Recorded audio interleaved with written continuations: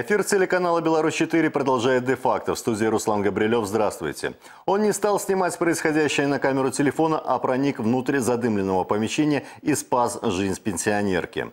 6 марта в 17.18 спасатели Гомельского районного подразделения МЧС выехали по сообщению о пожаре жилого дома в деревне Головинцы. По прибытию к месту происходило открытое горение кровли деревянного жилого дома. Огонь удалось потушить в течение нескольких минут. В результате пожара уничтожена кровля, повреждено 15 квадратных метров потолочного перекрытия и имущества внутри. Как выяснилось, еще до прибытия подразделения МЧС очевидец пожара, 30-летний мужчина, проходивший мимо, увидел горение внутри домовладения, проник вовнутрь и вывел пенсионерку 1934 года рождения, хозяйку дома, наружу. Пострадавших нет. Причина пожара устанавливается. Одна из рассматриваемых версий – нарушение правил эксплуатации газовых устройств и агрегатов.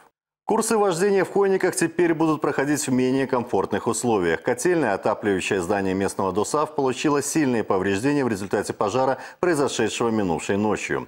Около половины первого спасатели Хонинского районного отдела по чрезвычайным ситуациям выехали по сообщению о пожаре котельной по улице Садовой. По прибытию спасателей к месту вызова происходило открытое горение кровли котельной, на которой снаружи висел замок.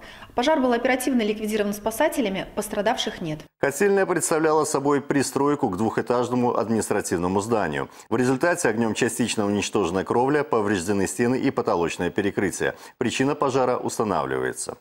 Вчера в Гомеле, недалеко от центрального рынка, под колеса микроавтобуса попала женщина. От полученных травм она скончалась на месте происшествия. Примерно около 12 часов дня 46-летний водитель, управляя автомобилем Volkswagen Crafter, двигаясь по улице Станкостроительный проезд в городе Гомеле, совершил наезд на 56-летнюю женщину, которая предположительно переходила проезжую часть дороги. От полученных травм женщина скончалась на месте происшествия. По словам очевидцев, в то время, когда пешеход переходила дорогу во дворе около дома номер 29, Volkswagen выезжал задним ходом. Женщина, скорее всего, подскользнулась и угодила под колеса. Согласно навечно-следовой информации, зафиксированной в ходе осмотра места происшествия, было установлено, что водитель совершил наезд на женщину, находившуюся позади автомобиля.